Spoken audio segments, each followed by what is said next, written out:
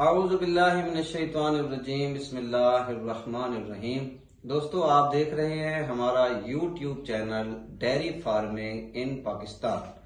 अगर आप हमारे चैनल पर नए हैं तो हमारे चैनल को सब्सक्राइब ज़रूर करें। आज हम आपको एक देसी वंडा अपने हाथों से बना हुआ उसकी फार्मूलेशन बता रहे हैं। जो दोस्त बाजारी वंडे खिला खिला कर तंग आ चुके हैं और Rajanpur dairy feed milking Vanda number सात इस्तेमाल करना चाहते हैं, लेकिन उन्हें मुयसर नहीं है।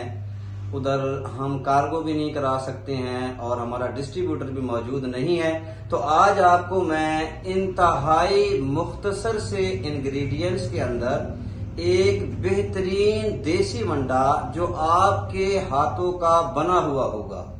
वो आप इस्तेमाल करें इनशाला अज़ीज़। दूध देने वाले जानवरों के लिए भी यही वंडा होगा। और इसके अलावा जो आपके फैटनिंग वाले जानवर हैं या गब्बन जानवर हैं, या जो आपकी हैफर्स हैं या कट्टियाँ तैयार हो रही हैं, उनको भी आपने सिर्फ़ यही वंडा खिलाना है। इंतहाई अच्छा वंडा, इंतहाई मुनासिब कीमत के साथ, और सबसे बड़ी बात यह है कि हमारे मुतद फार्मर्स बाजारी वंडे को पसंद नहीं करते हैं, और अपने हाथ का बना हुआ जो वंडा हो, उसके ऊपर इंसान की ज़्यादा सेटिस्फेक्शन होती है। तो चलते हैं अपने मजमून की तरफ़।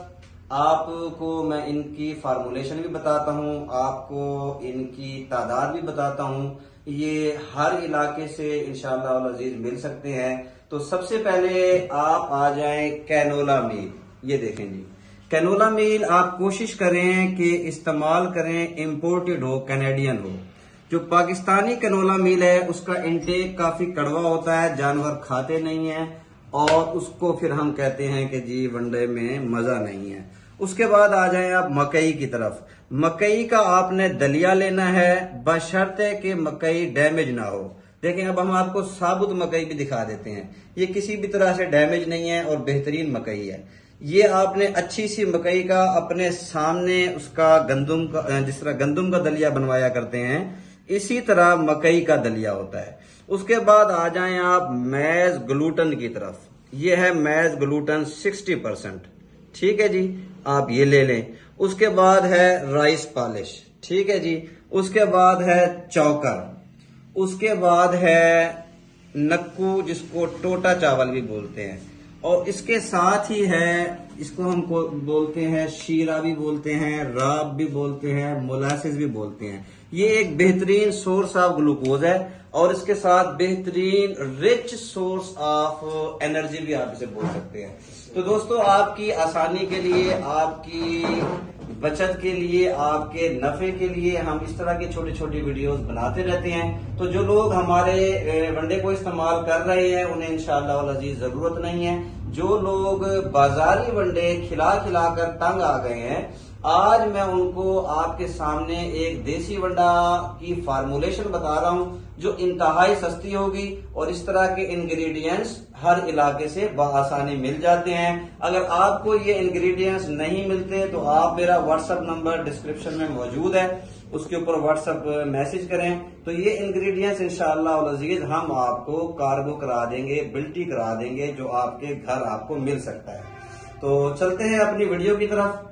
तो सबसे पहले आपने जो कैनोला मील लेना है, जो कि इम्पोर्टेड है, वो आपने लेना है 20 किलो।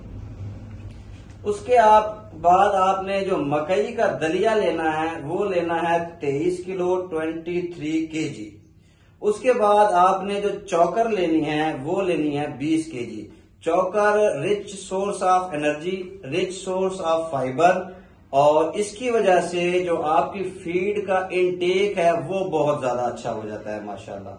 ठीक है जी? उसके बाद आपने राइस पॉलिश लेनी है, सिर्फ़ 10 के जी उसके बाद आपने मैज ग्लूटन लेना है, वो लेना है 15 के जी उसके बाद आपने नमक भी एक हमने रखना भूल गए यहाँ पर। आपने नमक एक किलो लेना है। इसके अलावा आपने रोमन बफर, जिसको मीठा सोडा भी बोला जाता है। ये आपको आसानी मिल सकता है। ये भी आपने एक किलो लेना है। पाँच किलो आपने कच्चे का ये लेना है, टोटा चावल। ये हर जगह से आसानी से मिल सकता है। और पाँच किलो आपने शीरा लेना है। शीरा अगर आपसे मिक्स नहीं होता तो आप इस तरह करें, पानी के पानी के साथ बाल्टी के अंदर मिक्स कर लिया करें, शीरा वैसे आपसे मिक्स नहीं होगा। तो ये दोस्तों, इंतहाई मुख्तसर सी वीडियो बनाई है। तो डिस्क्रिप्शन में मेरा व्हाट्सएप नंबर मौजूद है। अगर आप इस वनडे को अपग्रेड करना चाहें तो मैं आपको मजीद चीज़ें भी बता दूँगा, जिसके अंदर बाईपास फैट ये स्टाक्सन बाइंडर और इसके अलावा मिनरल्स वगैरह हैं और कुछ और इंग्रेडिएंट्स भी हैं। वीडियो को मुख्तसर बनाने के लिए और फार्मर को जो चीज़ें बसानी आपकी मार्केट से अवेलेबल हैं हमने वो दिखाने की कोशिश की है।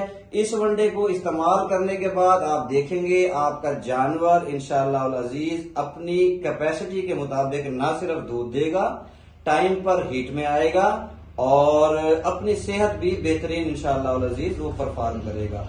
तो दोस्तों, सबसे जो अहम बात मैं आपको करना चाहता हूँ, जिसकी वजह से ये मैंने आपको वीडियो बना के दिखा रहा हूँ, हम इस तरह के फार्मूले हर तरह के लोगों को नहीं दिया करते। लेकिन अब ये कार्य खैर है, सवाब है। आपने खल बिनोला, टुकड़ा, ये चीज़ें इस्तेमाल नहीं करनी। खुदारा अपने जानवरों को टॉक्सन से बचाएँ। ये तमाम चीज़ें टॉक्सन लेवल की नहीं है। खल बिनोला के अंदर इतनी हाई कैटेगरी का टॉक्सन होता है और इसी तरह जो टुकड़ा होता है, उसके अंदर फपूंदी और फंगस होती है वो ही हमारे जानवरों के लिए एक जहर साबित होती है। आप खल बिनोला और टुकड़े से जान छुड़वाएँ। अगर आपको वंडा नहीं मिलता, आप ये देसी वंडा बना लें। इनशाला अज़ीज़ हयात हमें आप अपने दुआओं में याद रखेंगे ये वंडा इस्तेमाल करने के बाद। इन इंग्रेडिएंट्स में से अगर आपको कोई इंग्रेडिएंट्स नहीं मिलता या अच्छी क्वालिटी का नहीं मिलता तो आप मुझसे रहा कर सकते हैं। डिस्क्रिप्शन में मेरा नंबर मौजूद है। इनशाला जो भी आपको इंग्रेडिएंट्स चाहिए होगा, हम आपको कार्गो करा देंगे। हम आपको बाइबिलिटी भेज देंगे ताकि आप अपना वंडा अपने हाथों से बना सकें। जजाकुमल्ला अपनी दुआओं में याद रखिएगा, अपना ख्याल रखिएगा। अस्सलाम वालेकुम वरहमतुल्लाहि व